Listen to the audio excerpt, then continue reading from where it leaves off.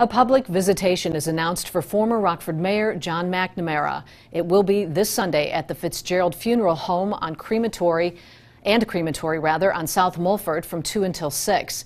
Due to the pandemic, masks must be required for anyone who chooses to attend. There will also be a limit as to how many people will be allowed in at one time.